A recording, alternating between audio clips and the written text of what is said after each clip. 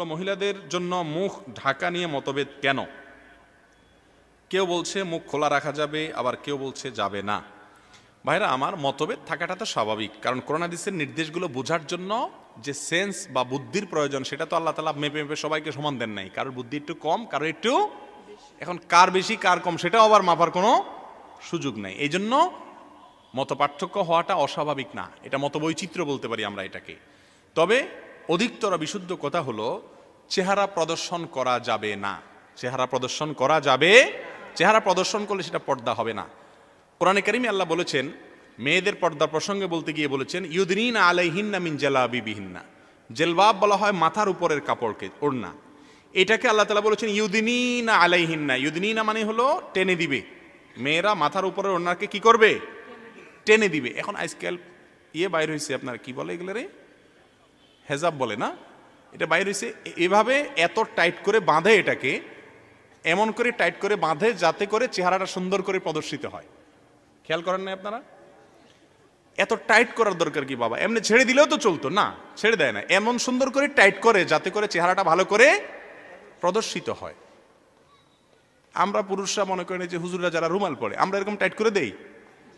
ক্যামেরাম্যানরা সবসময় বলে যে, হুজুর, রুমাল সরান, দেখা যায় না।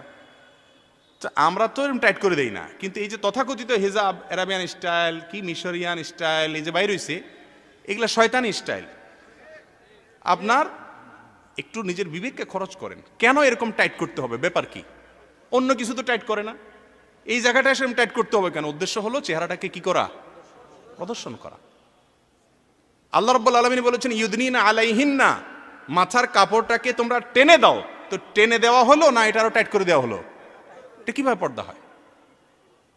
হ্যাঁ যে সমস্ত ওলামাইকরাম বলেন মুখ ঢাকতে হবে না, তাদের মতের একটা ব্যাখ্যা এরকম হতে পারে যে, আপনি এটাকে টেনে দিলেন, টেনে দিলে নিচের দিক থেকে মুখ তো ঠিকই খোলা, নিচের দিক থেকে মুখ খোলা, কিন্তু প্রদর্শিত হলো না। এটুকু। আমাদের আয়সাদুল্লাহ তালানহার হাদিস দেখেন ওমরা বা হজের সময় তিনি যখনই কোনো পুরুষ নজরের এরিয়াতে আসতো, সাথে সাথে কাপড় টেনে দিতেন। চেহারা প্রদর্শন করা যদি জায়েজই হতো, তাহলে এত কষ্ট করার দরকার হতো না। হ্যাঁ চেহারা খোলা রাখা জায়েজ। চেহারা খোলা রাখা খোলা রাখা এক জিনিস আর প্রদর্শন করা, খোলা রাখার মানে বুঝেন নাই? এভাবে যদি আপনি টেনে দেন কথার কথা, তাহলে খোলা ধরলো না? এরকম জায়েজ আছে, কোনো অসুবিধা নেই। কোনো মহিলা যদি বলে যে আমি টেনে দেব, পুরোটাকে আমি আপনার ওই যে কি বলে, নেকাব দিয়ে আমি বাঁধবো না, কোনো অসুবিধা নেই, জায়েজ। আপনি টেনে দেন যাতে প্রদর্শিত না হয়। এরপর আপনি চলেন, কোনো অসুবিধা নেই। কথা কি বুঝাইতে পারছি? তাহলে খোলা রাখা এক জিনিস আর প্রদর্শন করা আরেক জিনিস। এখন খোলা রাখা হচ্ছে না, প্রদর্শন করা হচ্ছে। সবচেয়ে বেশি আকর্ষণ তো চেহারা দেখে হয়।